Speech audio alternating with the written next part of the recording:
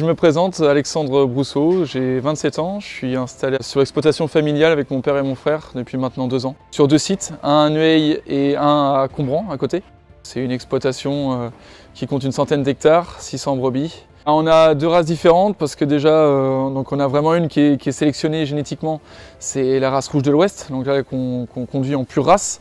Et ensuite, on a vraiment le, croisement, va dire typique euh, du secteur, qui est le rouge de l'Ouest croisé avec euh, le Vendéen.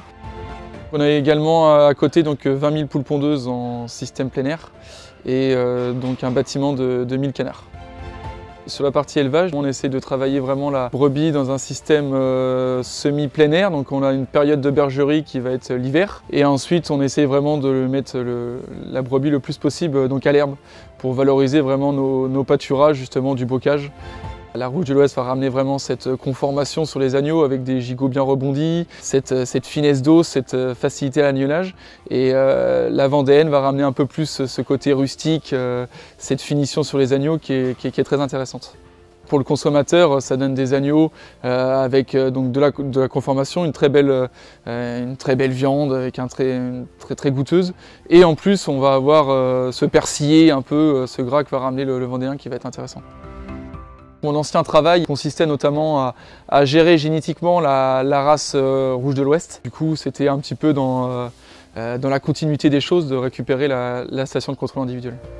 Cette station fait rentrer 150 jeunes béliers, étalés donc sur des naissances au mois de janvier et au mois de février. Et donc on va vraiment les conduire ensemble pour ressortir les meilleurs reproducteurs de la race. Cette année par exemple c'est 17 élevages qui sont rentrés de toute la France. Ça va aussi bien du secteur du berceau, donc euh, Deux-Sèvres, Maine-et-Loire, euh, Vendée, euh, Mayenne, Alsace, Isère. Donc voilà, on fait vraiment le, tour de la France. Les 14 meilleurs, donc le, top du top, va être mis, donc on appelle ça l'insémination artificielle, pour profiter donc à tous les éleveurs de France. Et ensuite, il y a donc une vente aux enchères qui se trouve fin juillet sur, sur, l'exploitation elle-même, où on va vendre nos, meilleurs spécimens également de la race, donc les, 80 meilleurs autres béliers de la station de contrôle individuel. Le projet de la station de contrôle individuel, il est démarré, il a démarré il y a déjà euh, euh, au moins trois ans. On est rentré dans la sélection Rouge de l'Ouest en 2013.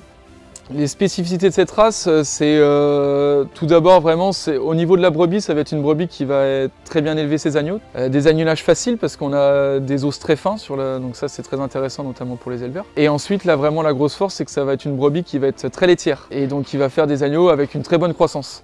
Et donc ça c'est très intéressant pour nous. Et en plus de ça, c'est vraiment une race très herbagère, donc euh, qui, doit, qui aime sortir dehors, aller donc euh, euh, pâturer l'herbe grasse du printemps.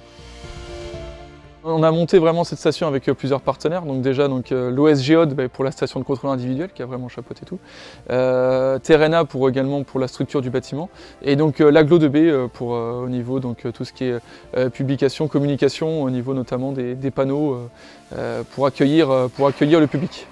Maintenant, euh, on va essayer voilà, de déjà euh, bien travailler et faire le mieux notre boulot avec beaucoup de passion pour qu'on voilà, y arrive et puis, euh, qu'on fasse quelque chose voilà, de très professionnel.